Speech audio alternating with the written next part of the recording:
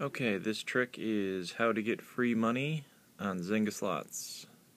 Let's launch the program. As you can see, I've got a $20 bonus I can collect.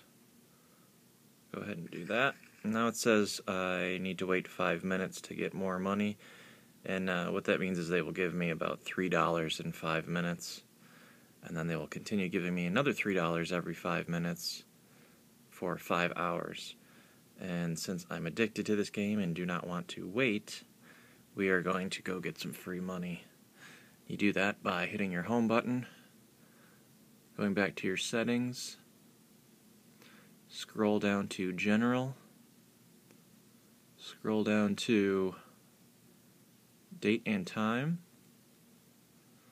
change set automatically to off, go to set date and time and then what we're going to do is just advance the clock five hours.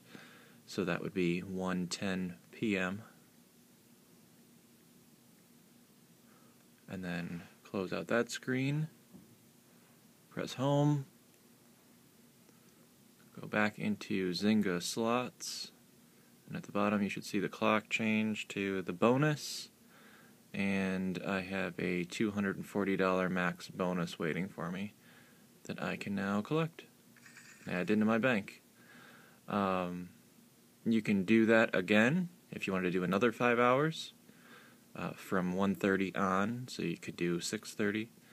Uh, I would not recommend going any further than five hours, or you'll you'll lock yourself out, and um, you'll only be able to get one bonus from the entire time that you've set it forward, which I've already done. So Make sure you don't set it ahead three days thinking you're going to collect a big jackpot because you'll end up just getting your max bonus once and then waiting three days to ever get money again.